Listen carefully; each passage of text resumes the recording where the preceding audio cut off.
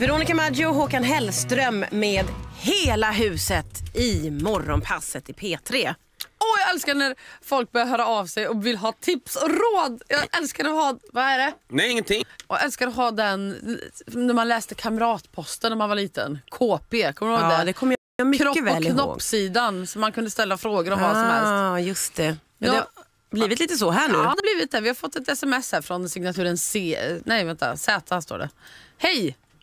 Jag har precis börjat pussas med en ny kille och han gör mig galen. precis när man kommit igång och ska ta omta- omtag, nej, då stänger han igen. Som att nu var det klart. Haha, frustrerande men det gör samtidigt att jag bara vill ha mer och mer. Tokmysig. Och så skriver hon också vad han heter. Eller han. Eh, Ja, nej men så här, man, om man håller på och kysser, kysser varandra och så bara vill man hämta andan eller Och någonting. då bara, klart. Då är det stängt. Ja, då blir det inget mer. Jag skulle också bli förbannad. Året är lite irriterande faktiskt. så Vad gör man åt det då? Jag tror det är samma råd hela tiden. Att man får säga till. Sen Ja. säger jag ifrån på skarpen. Ja. Du, Öppna! vi slutar inte förrän jag är klar. Ja, nu öppnar du din käft igen. Ja. Eh, Ellen har hört av sig och skriver “Passerar Mantorp nu, hörs fint”. Det är jättemånga som har hört av sig angående Mantorp och säger att när de åker förbi i bilen så hör de oss. Ja, så att det är Eh, radiomottagningen är fine, mobilmottagningen wack. Det är tråkigt att eh, Maja ägnade ett halvår åt att försöka få in oss på mobilen ändå. Ja. Och då kan vi säga till Mantorp också att ni kan ta semester. Vi skickar ingen tekniker i sommar. Nej, det gör vi inte. Ni får klara det här själva. Det Ja. verkar som att folk eh, hör. Sen är det ju så här att folk påpekar att det finns andra platser där det hörs mindre bra. Mhm. Som Mjölby verkar vara ett sånt ställe. Skickar en tekniker till Jölby. Eh, var hemma mellan 9 juni och typ 26 augusti. Ja, exakt. Någonstans där. kommer vi skicka en tekniker. Eh, så för, s- håll ut. Det gäller alla orter som känner dålig mottagning. Mm. Ja. Eh, det är någon annan som skriver apropå det här med hångla.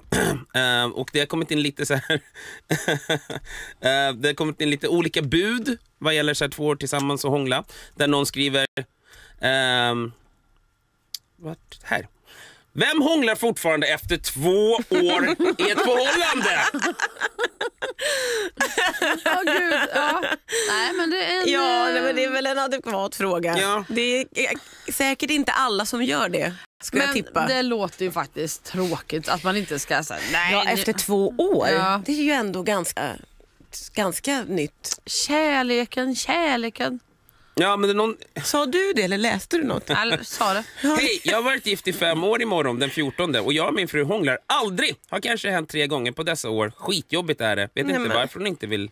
Med vänliga hälsningar Rickard i Skåne. Åh, vad tråkigt. Ta upp det Ser du hur snabbt jag kan bli provocerad att, också? Eh, Rickard går till tandläkaren och kollar upp så att det inte är något, har något med andedräkt Att det är något ruttet där inne? Ja, eller liksom så här eh, he- munhålehälsan. Ja, den det är viktig. Tips. Det är viktigt. Mm. Den är viktig faktiskt. Om det är s- f- suttit där inne då vill man inte vara där och Nej. rota runt. Usch. Det, nej, det kan vara någonting fel på munhålan. Sen, men kanske också att han älskar vitlök. Att han äter Åh, mycket vitlök. gud, Eller mycket så franska ostar. Så, så Ja. bara, nu vill jag ha en... Men Eller att han kör militären. Ja. Det kan vara idé att tala om det också. Så Ja. man får höra vad det är. Plus att det är väl generella regeln. Bara ba, ba, säg. Ja. Vad, vad, varför- vad sägs om att vi hånglar lite? Bara hångla Ja. i typ en timme. Bygga upp den här sexuella frustrationen lite grann. Ja, men den verkar de ju ha koll på i alla fall. Ja, det här handlade, eller ja, det vet vi inte, det var ett kort sms. Ah, ja, hör av dig om det är något mer. Vi löser ju allt här som du märker. Hej till henne med problem med hångelkillen. Hon kan ju säga att hon är ledsna på att hångla hårt med tungan men att hon gillade det först, nu, eh, först men nu är inne på lite lugnare kyssar. Så hon säger bara till honom att det, eh, att det är sexigare med lugna kyssar eller något. Jag vet inte. Tack för mig! Med hälsningar Joel. Ändå tycker jag en bra idé. Mm. Eh, Den är fin. Alltså man vill ju vara lite finkänslig i de här lägena så att det inte blir jävligt dålig stämning. Ja, Mona, men sen, nu har vi kört din stil här nu i två år. Den här liksom uh, ro, Exakt. romersk Ja. drottning.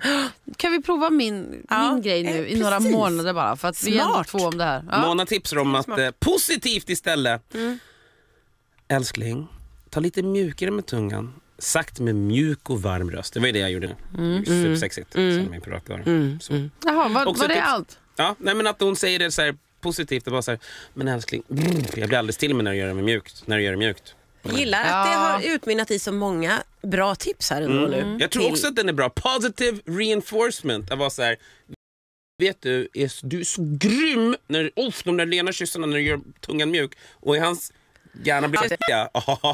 och wow när du gör det. Bra. Men en bra man kan, grej. ju inte heller, man kan ju inte heller liksom berömma eh, en teknik som man vill ändra på. Nej Jo, men man men berömmer ju inte det. den, man berömmer eh, Det som man ville komma Alltså man åt. säger det som man vill ha. Och är Jo, så här, jag vet, Gud men- när du är sådär avslappnad med tungan, Ja. gud vad det Åh, är underbart. man aldrig är Nej det. men det När- spelar ingen roll, du säger det så tror han att han är det och då Ja. kommer han att försöka vara det.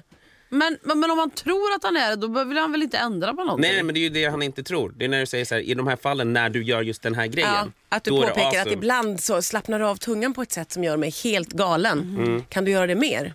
Det är som när du inte lägger lin fram på min arm. Alltså jag blir så jävla glad Hanna. Alltså jag blir verkligen till mig helt... Alltså men nu har ju inte vi en kroppen. relation som går ut på att vi ska göra varandra Men den glada. där tekniken kan man ju använda på alla. Ja, positive reinforcement. Ja, ja. Jag tror väldigt mycket på det. Det funkar ändå.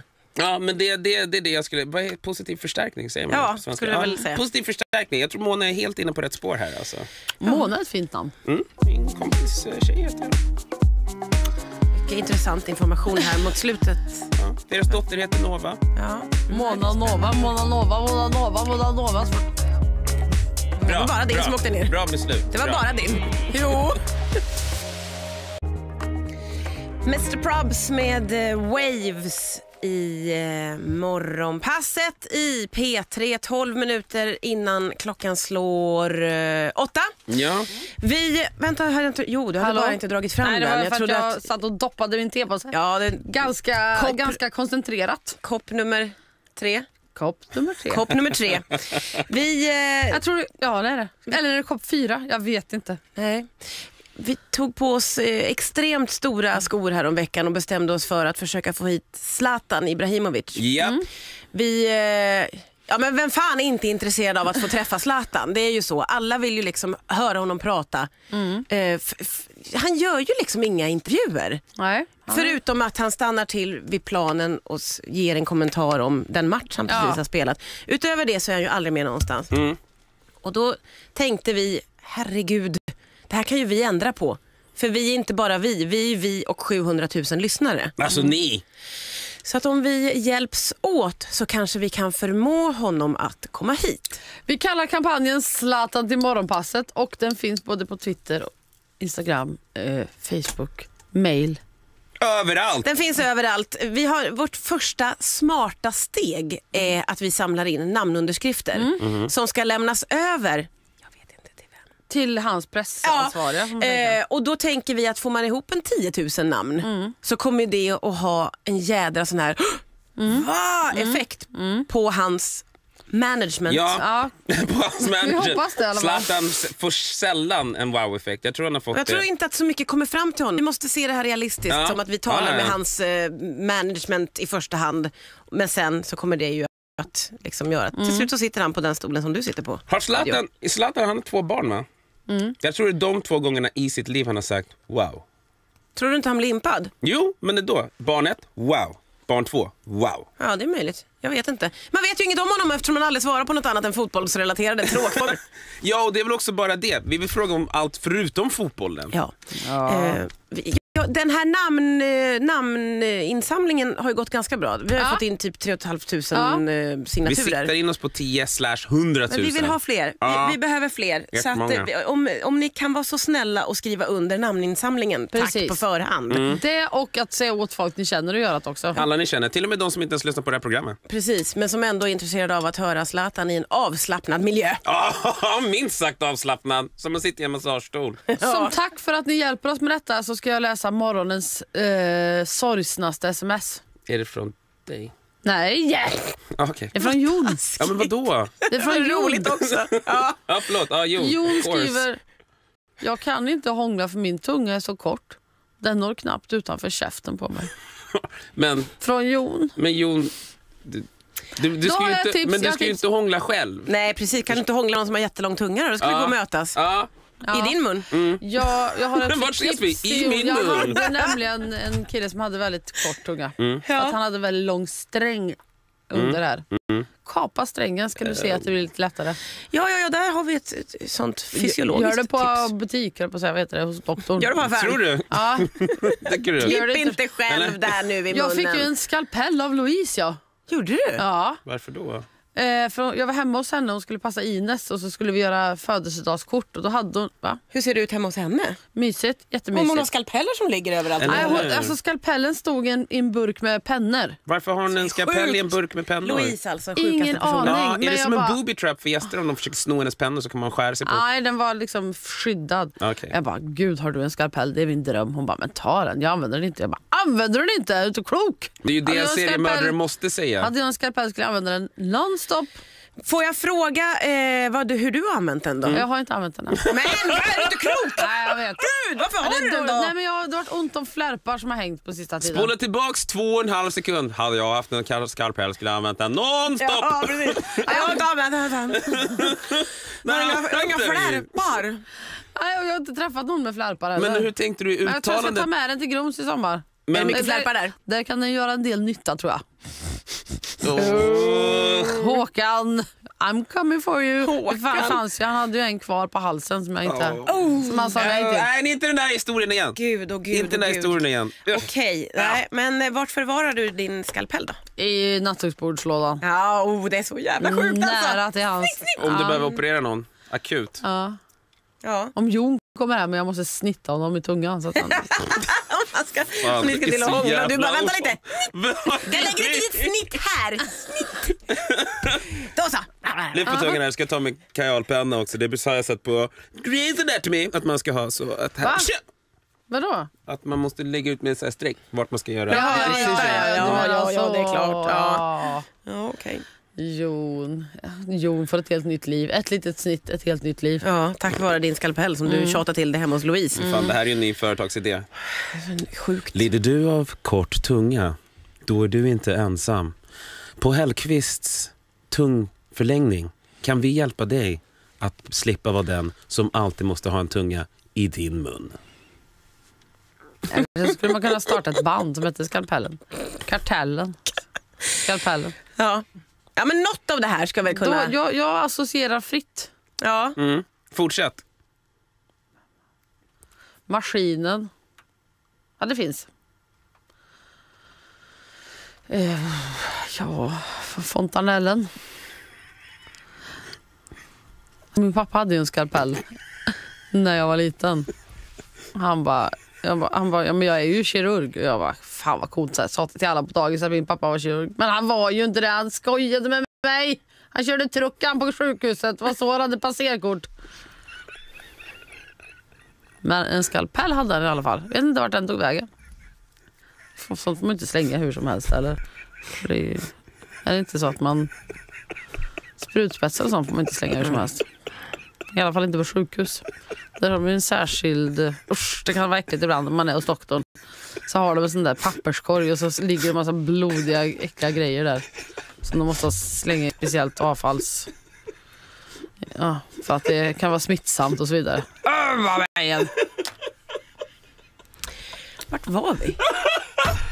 Prata om Jon. Jag tyckte det där var en jättestark prestation. Ja, det var det. För man hörde ungefär halvvägs in så var hon trött på det. Ja, jag tyckte ändå att det där var jävligt intressant. Det var Ja, mycket där som bra. var att Det var bra. din pappa hade en skalpell. Ja. Var kom den ifrån? Det var Biolo- mycket frågor som ställdes. Ja. Biologiskt avfall. Jag Nej, gillade, jag gillade kopplingen fontanell, pappa hade en skalpell. Ja, men hon kände, det där var ju den svaga länken. Bandnamnen hade Ja, ju inte där att nej, göra. nej, men Överhuvudtaget. Men så tillbaka skalpell. till någonting som var på riktigt och från livet. Mm. Och som gjorde en intresserad och man började tänka jättemycket på de där sopkorgarna som Ja. bara är till för blodigt avfall. Som det står i alla amerikanska filmer, biohazard. Ja, just det. Precis. Coolt. Mm. Och äckligt framförallt. Ja. Eh, ja, okej. Så vad skulle det landa i? Något? Eh. har jag glömt i så fall. Det var väl hångel va? Nej, Nej. skalpell. Just Ja, det, hemma skalpell. hos Louise. Vad gjorde du hemma hos Louise? Kanske Hur var att- det jag mysigt? Hon hade en Tänker att du kan ta med den hit och visa någon dag eller? Hon kommer börja försöka snitta av saker. Det är ingen bra idé. Sluta läs. Hörde du vad jag sa? nej. Ta, Det är ingen ta med idé. den hit och visa den. Det är ingen bra Ska idé. jag det? Ja. Det är ingen bra idé. Men jag vill se den. Det är ingen bra idé. Den är ganska liten. Vad kan hända? Hon kan försöka snitta av saker. Jättesvårt att tro att hon skulle missbruka den. det är inte alls, det är inte alls svårt att tro det. Nicole Saboné med Win this life. Det är dags för Petro Nyheter. Simon, Ja, jag är här och vi drar igång direkt för just nu så vräks rumäner från sitt läger i Helenelund norr om Stockholm efter att Kronofogden bestämt att de inte får vara kvar där. P3. Och nu på morgonen hålls också en manifestation för deras rättigheter. Viktor Nyström är en av volontärerna på plats. Vi kan inte skylla på Rumänien att de, att de vräker deras eh, bostäder och förstör deras hem och inte ger dem bostad när vi inte vi gör det. Om vi nu vill vara med i det här eh, EU, då måste vi också ta hand om dem som är medborgare, EU-medborgare och det är det de är här. Viktor Nyström befinner sig på en grusplan mellan motorvägen och pendeltåget i Lund. Här står ett 20-tal byggnader uppförda i form av skjul och husvagnar. Viktor Nyström räknar med att det bor mellan 60 och 70 personer i lägret, personer som nu kommer att avhysas. Det är Sollentuna kommun som har ansökt om särskild handräckning, det vill säga omedelbar vräkning hos Kronofogden. Lennart Gabrielsson är folkpartist och ordförande i socialnämnden i Sollentuna kommun. Och så här förklarade han avhysningen i P1 Morgon. Man hjälper ju inte de här människorna genom att fösa dem över den ena kommungränsen efter den andra. Det är ingen av oss som tror på det. Men vart ska de här människorna ta vägen? De här människorna ska tillbaka till Rumänien. Avhysningen av EU-medborgarna i Helenelund är den tredje gången på kort tid som människor vräkts från olika läger i Stockholmsområdet. Tidigare har läger tömts i Högdalen och Flemingsberg berättade Johanna Johansson. En våldtäkt på barndomen. Så beskrivs förslaget att flickor i Irak ska kunna giftas bort redan som nioåringar. I alla fall de som är shia-muslimer. Regeringen har sagt ja till det här. Nu är det upp till parlamentet och kvinnoorganisationer i Irak ser det här som ett stort bakslag. En 16-årig medlem i Socialdemokraternas ungdomsförbund ska ha blivit överfallen, misshandlad och kallats för feministfitta. Men nu lägger polisen ner utredningen. Det var en eftermiddag i januari i år som två okända män ska ha misshandlat och hotat den 16-åriga tjejen på en gata i Malmö. Nu läggs utredningen ner eftersom polisen säger att de inte kommer vidare. De har till exempel inga vittnen från händelsen. Det rapporterar verkligheten i P3. 16-åringen är medlem i SSU och säger att det var hennes politiska engagemang som var motivet. Hon berättade när det hände för Sydsvenskan att de citerade vad hon hade sagt om invandring i ett tal. De ska också ha kallat henne för äcklig feministfitta, knäat henne i magen och hotat att döda henne om de såg henne igen. Mer om det här kan ni höra i P3 Nyheter senare idag och i verkligheten efter klockan sex. Berättade Palmira Kokarimenga. Regeringen satsar på att fler ska bli lärare och planerar på att öppna 9 000 nya platser på lärarutbildningen.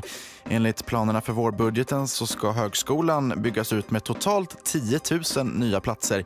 9 000 av dem går alltså till lärare. Och det här kommer kosta 1,3 miljarder om året när det är klart. Sport nu, för i SM-slutspelet i hockey så slog Linköping ut Modo trots att Modo ledde med 4-0 och det var vinna eller försvinna. Modo fick en fem minuters utvisning mot sig och i förlängningen kom avgörandet. Eh, då är det bakom förlängda mållinjen. Sjögren bra skott. Kommer så mål! Det kommer den! Och en sån fantastisk vändning av detta LHC. Radiosportens Christer Jonasson refererade där och så här säger Linköpings Simon Hjalmarsson. Vi var nere och hängde lite med skallarna där, men vi, vi fick ett psykologiskt viktigt 1-4 mål som kände att vi fick lite vittring där. Och sen eh, fick vi lite powerplay där. Eh, vi gjorde två mål under den femman där och kom tillbaka i matchen. Och det, det små marginaler, det kunde lika gärna varit 5-0 och godnatt i, i andra perioden. Där. Det blir en eh, solig dag i södra Sverige och i södra Norrlands kust och inland. I norra Norrland och fjällen blir det däremot mycket moln och i Lapplandsfjällen en del snö som i Norrbottens kust och inland övergår i regn. 8 15 grader i söder och 2 8 grader i norr. Kajsa Norell heter morgonens producent och hon och jag tackar för nu. Hörs igen om en halvtimme. Morgonpasset i P3. Älskar ny musik.